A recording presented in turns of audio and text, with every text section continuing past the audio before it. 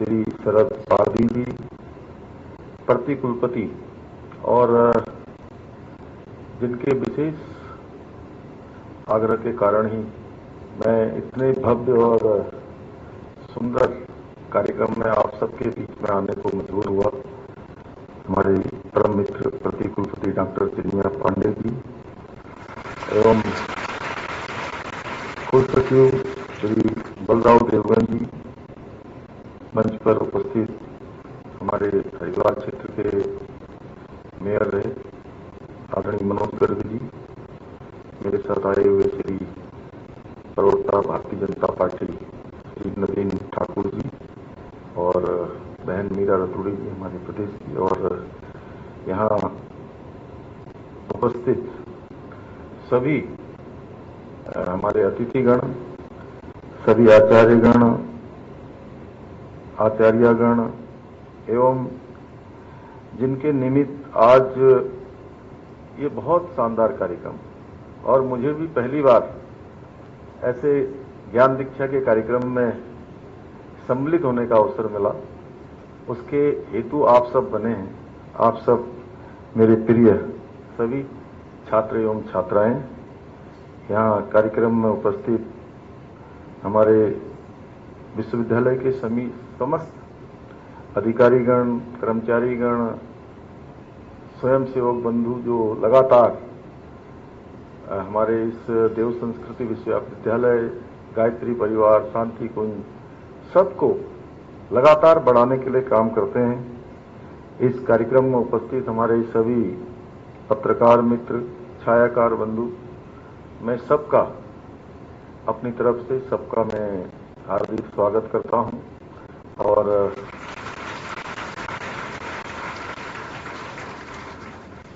और जो हमारे आज छात्र एवं छात्राएँ, जिनको जैसा अभी कुलाधिपति जी कह रहे थे, कि जिनको छह महीने, साल भर, दो साल, पाँच साल और कई सालों सालों तक निरंतरता से यहाँ पर इस ज्ञान की गंगोत्री से ज्ञान को लेकर अपने जीवन को सफल एवं साकार करना है।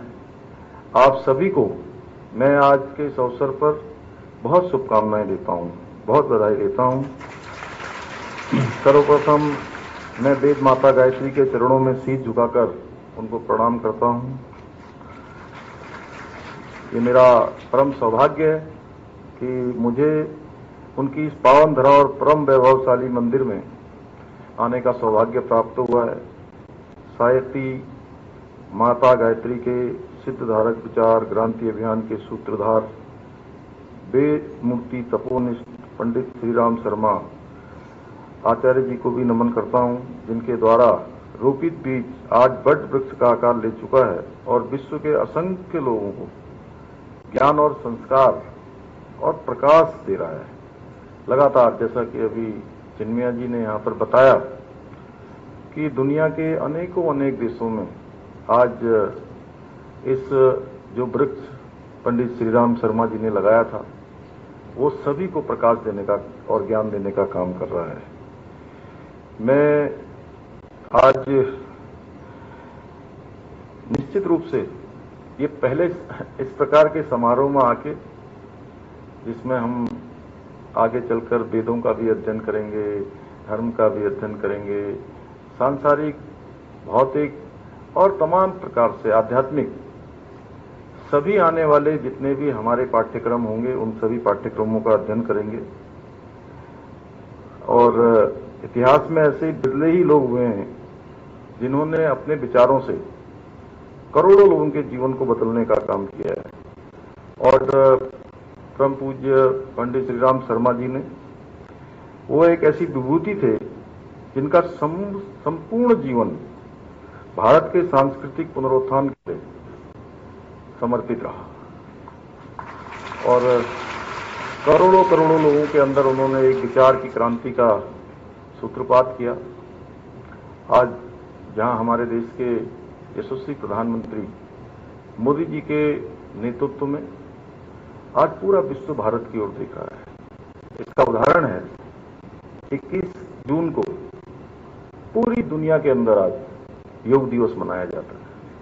ये नया भारत है। और पंडित श्री राम शर्मा जी ने वो भी एक ऐसी विभूति थे, जिन्होंने उस समय कभी इसकी कल्पना की होगी, जो आज साक्षात रूप से भारत के करोड़ों करोड़ों लोग तो उसको अपना ही रहे हैं, आज दुनिया के देश भी उसको अपना रहे हैं, उसको मान रहे हैं। उन्होंने मंत्र दिया कि हम बदलेंगे युग उन्होंने जो समाज में जनजाति लाने का पुनीत कार्य किया, इसके लिए मैं ऐसा मानता हूँ कि आने वाली हमारी सभी पीढ़ियाँ उनको हमेशा जहाँ अपने स्मरण में रखेंगी। वहीं उनकी ऋणी भी रहेंगी कि उन्होंने वास्तव में समाज को बदलने का काम किया है। माता गायत्री व यज्ञ को घर घर में स्थापित करने का काम उनके माध्यम से हुआ। सनातन संस्कृति को पुनः परिभाषित करने को लेकर साधना, शिक्षा, स्वावलंबन, सशक्तिकरण, जनशक्ति का संरक्षण, युवाओं को संगठित करने का कार्य। आज पंडित श्री राम शर्मा जी के सिद्धांतों पर चलकर किया जा रहा है। यही कारण है कि उन्हें आधुनिक युग के विश्वामित्र की उपाधि से भी अलंकृत किया गया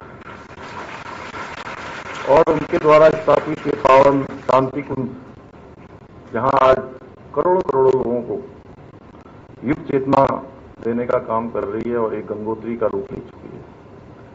आज उसी महामनीषी के आदर्शों पर स्थापित इस देव संस्कृति विश्वविद्यालय के रूप में ये विश्वविख्यात शिक्षा केंद्र नैतिक मूल्यों पर आधारित रोज़गार परक शिक्षा देने का अनुपम कार्य भी कर रहा है।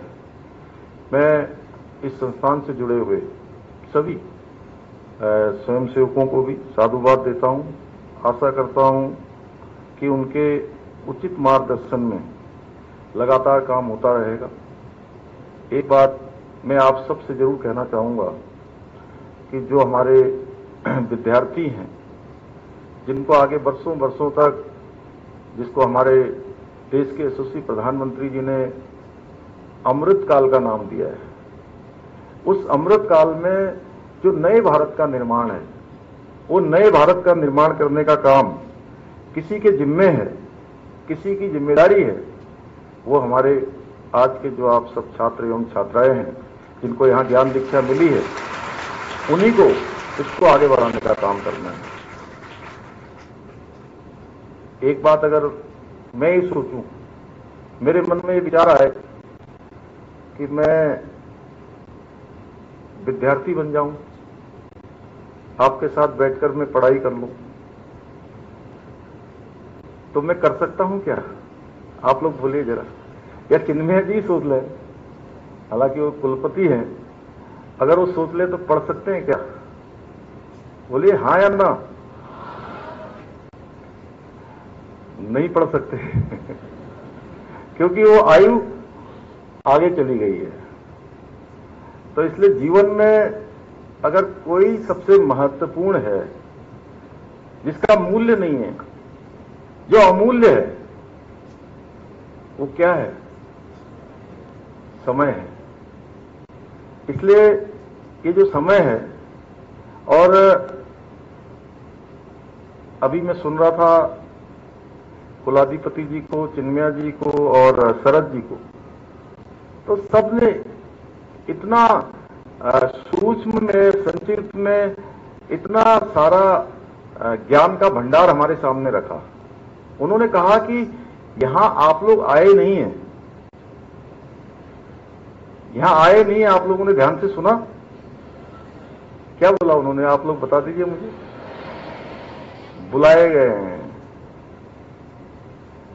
आप लोगों जैसे करोड़ों करोड़ों लोग करोड़ों करोड़ों हमारे प्रिय छात्र हैं, छात्राएँ हैं, हमारे बेटे हैं, बेटियाँ हैं। तो उसमें से आप हज़ारों ही लोग क्यों हैं यहाँ पर? आप हज़ारों लोग इसलिए हैं कि आपको बुलाया गया है। अपने आप को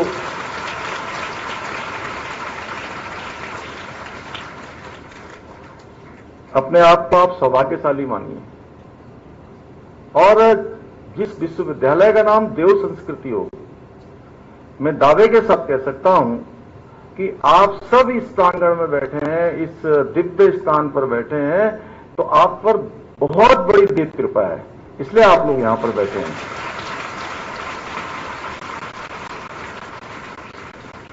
अन्यथा बहुत चाहते हुए भी, बहुत कुछ चाहते हुए, मन में इच्छा रखते हुए कि हमें भी अध्ययन के लिए जाना है, हमें भी वहाँ पढ़ना है, हमें भी वहाँ रहना है। ऐसे विचार बहुत हमारे बेटे बेटियों के मन में आते होंगे, आए होंगे। लेकिन उनको बुलाया नहीं गया। आप लोगों की समझ में आ गया ना मैं क्या कह रहा हूँ? तो जब आप लोगों को यहाँ बुलाया गया है तो आप लोग ये मानिए कि आप लोग विशिष्ट कार्य के लिए बने हैं।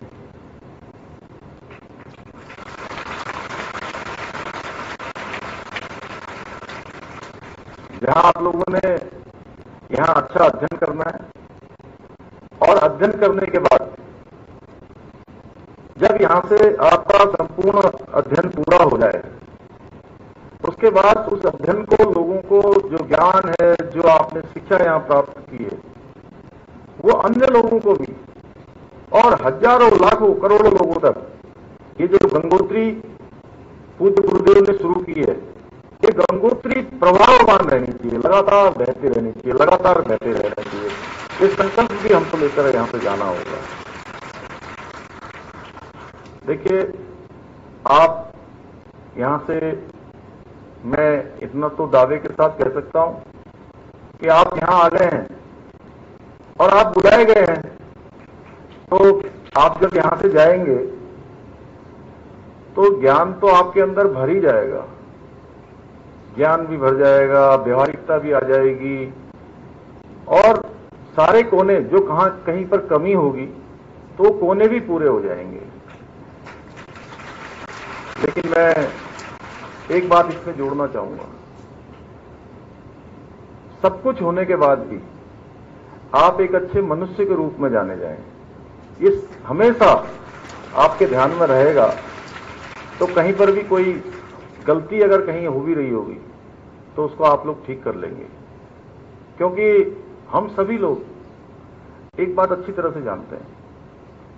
कई बार क्या होता है, अभी आप लोग विद्यार्थी हैं, शिक्षार्थी हैं, जिसके बारे में मैंने कहा कि ये कालखंड बार बार नहीं मिलता है। एक बार निकल गया तो उसके बाद फिर ये कालखंड वापस नहीं आएगा। ये समय वापस नहीं आएगा। इसका कोई मूल्य भी नहीं है। ये बहुमूल्य है। तो जब ये वापस नहीं आएगा तो ये मान के चलिए कि आपको यहाँ पर एक तरह से साधना करनी है। परिश्रम करना है। और अपने आप को साधना है।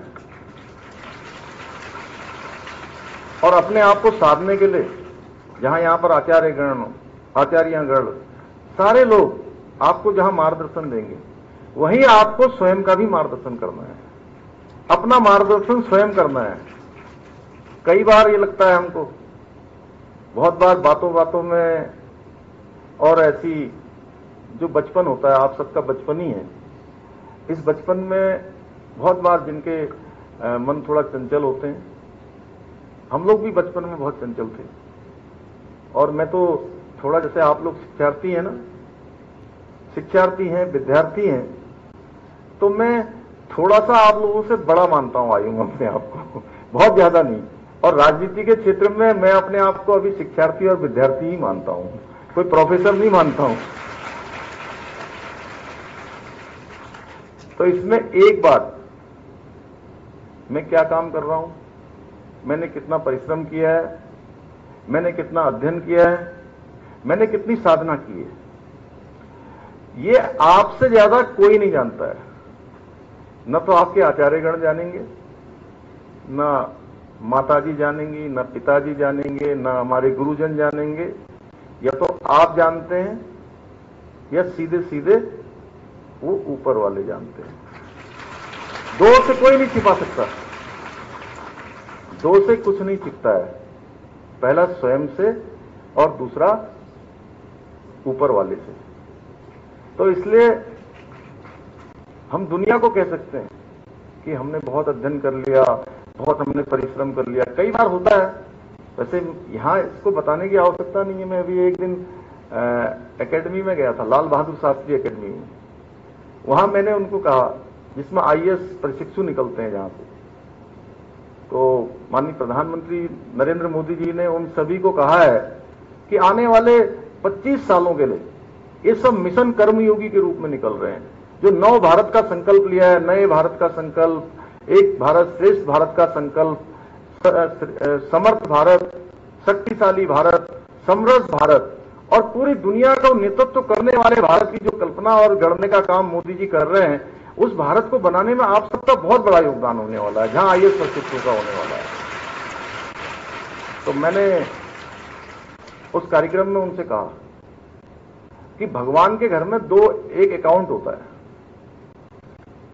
अकाउंट जानते हैं ना, बैंक में सभी का अकाउंट होता है तो क्योंकि प्रधानमंत्री जी ने सबको जो है जन धन खाता खुलवा दिया था और बिना पैसे के अकाउंट खुल गया था सबका।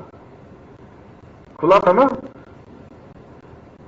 अभी खुला सभी का अकाउंट तो होगा ना बैंक में। कोई ऐसा भी इसका अकाउंट नहीं है। है? कोई हाथ उठा देगा अगर नहीं है तो? जी अगर नहीं होगा तो आप खुलवा देंगे अकाउंट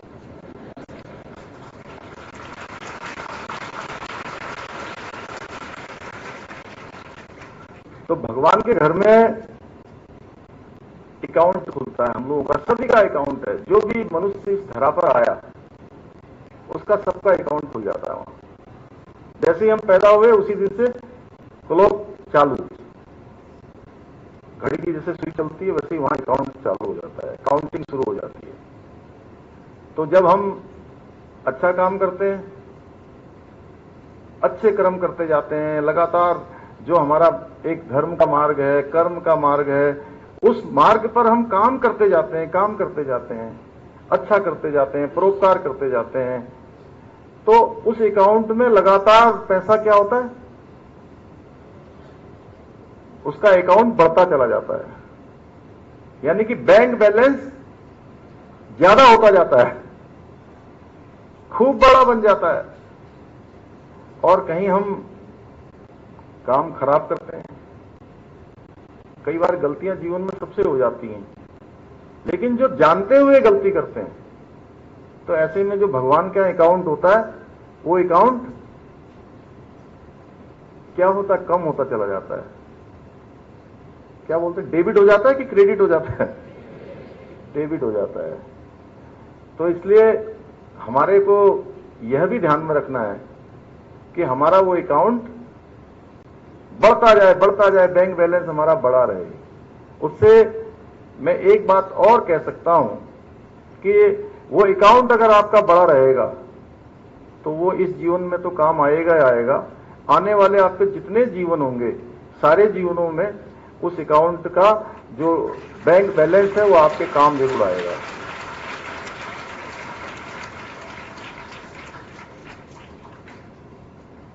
आज आप सभी ने इन ज्ञान दीक्षा कार्यक्रम के माध्यम से आप सभी की अंतर्निहित दिव्य शक्ति को जागृत करने की जो प्रक्रिया शुरू हुई है,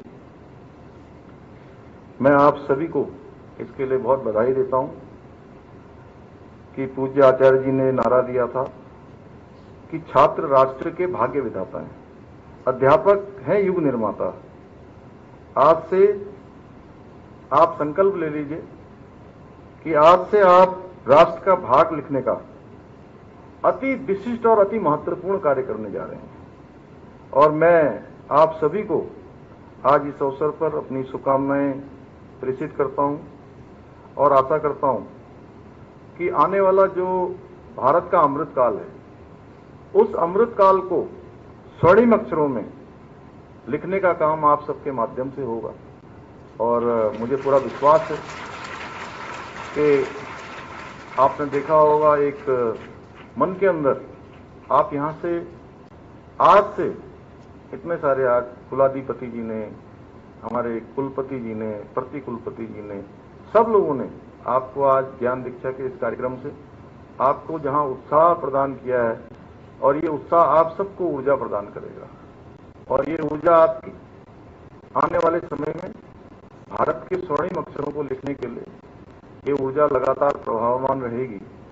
और साथ ही साथ जो हम सब चाहते हैं, और आपने देखा होगा पिछले सालों में एक समय हमारे पूरी दुनिया के अंदर हमारी एक स्थिति हो गई थी कि हमको माने जाने लगा था कि हम दुनिया के देशों में, हालाँकि यहाँ तो विदेशों से भी छात्र आए हैं, लेकिन मैं भारत की बात कर रहा हूँ कि दुनिया के देशों में हमें जहाँ एक पिछलग्गू माने जाने लगा था दब्बू माने जाने लगा था, आज भारत दुनिया के देशों में नेतृत्व करने वाले भारत के रूप में जो है दुनिया के देशों के सामने आ गया है। इसका उदाहरण आप देखिए बहुत सारे क्षेत्र ऐसे हैं, जिनमें भारत आज दुनिया का नेतृत्व कर रहा है। पिछले दिनों रूस यूक्रेन युद्ध हुआ था। और उस रूस यूक्रेन युद्ध में, जहाँ भारत के हमारे बेटे बेटियाँ हमारे वो छात्र जो वहाँ पर पढ़ाई करते थे यूक्रेन में, वह सब तो भारत का झंडा लेकर, भारत का तिरंगा अपने कंधे पर लेकर, अपने हाथ में लेकर, जहाँ यूक्रेन की सीमाओं को पार कर रहे थे अपने वतन आने के लिए तैयार हो रहे थे, वहीं दुनिया के ऐसे देश थी जो हर समय हमसे लड़ते रहते हैं, जो हर समय कहीं ना कहीं षड्यंत्र करते रहते हैं, दुनिया के ऐसे देशों के बच्चे भी वहाँ से सुरक्षित निकलने के लिए भारत का झंडा अपने कंधों पर लेकर चल रहे थे। यह है नया भारत।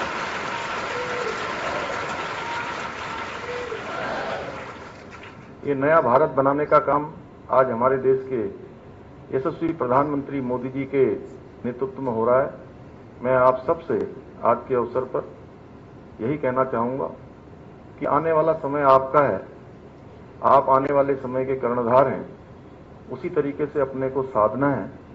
और इतना सुंदर आपको जहाँ ये समय मिला है, ये कालखंड मिला है, अध्ययन का कालखंड, ये आपके जीवन को, इस जीवन को भी और आने वाले कई जीवन को सफल बनाने का मार्ग प्रस्तुत करेगा। मैं पुनः आप सभी को बहुत अपनी तरफ़ से शुभकामनाएँ देते हुए, बहुत बधाई देते हुए कि आप सब लोग यशस्वी हों और जीवन के हर क्षेत्र में आपको सफलता मिले। मैं कुलपति जी का, हमारे प्रति कुलपति आर्य चिन्मया जी का, सभी का मैं धन्यवाद करते हुए और गुरुदेव को प्रणाम करते हुए उनकी पावन, दिव्य स्मृति, दिव्य उनकी उपस्थिति को प्रणाम करते हुए अपनी वाणी को विराम देता हूँ। बहुत बहुत धन्यवाद।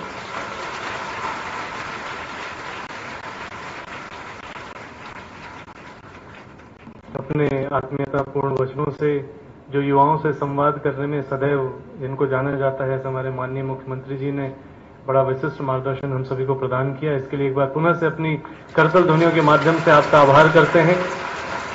अब यहाँ पर जो हमारे नौ प्रवेशी छात्र छात्राओं में से कुछ प्रतिनिधि छात्र छात्राएँ शीघ्र से मंच पर आ जाएँ, क्योंकि यहाँ पर प्रतीक चिन्ह वितरण का कार्य होगा। हमारे वॉलेंटियर से निवेदन है कि कृपया हमारे इंटरनेशनल स्टूडेंट्स और कुछ हमारे प्रतीक रूप में विद्यार्थी यहाँ पर आएँगे। आप सभी विद्यार्थी जब अपनी जगह पर बने हुए हैं